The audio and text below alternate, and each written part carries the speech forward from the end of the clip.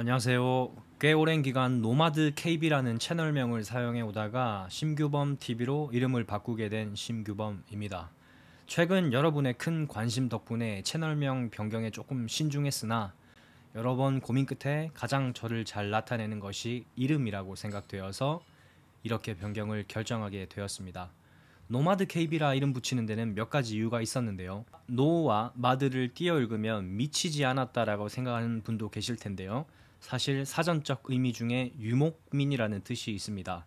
세계 곳곳을 생활 영역으로 하여 유연하게 이동하는 사람이라는 뜻인데요. 지난 10년간 50개국을 방문 또는 여행하면서 그 시간들을 공유하는 목적으로 채널을 만들었지만 여러 이유로 채널이 망해가는 위기에 놓여 있었는데요.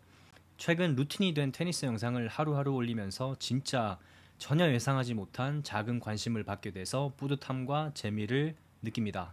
앞으로 테니스를 할 수 있는 환경이 지속된다면 계속해서 이러한 영상을 올리고 싶고 그 외에도 재밌을 만한 환경에 놓인다면 영상화를 통해서 공유하고 싶은 계획입니다. 제 영상이 제 3자에게 보여지는 것도 아직 부끄럽고 누추한 제 채널에 들어오셔가지고 클릭해 주시는 그 자체도 아직도 적응이 안 되는 게 사실입니다만은 저다운 저스러운 내용으로 꾸준히 정진하는 모습으로 또 찾아뵙겠습니다. 감사합니다.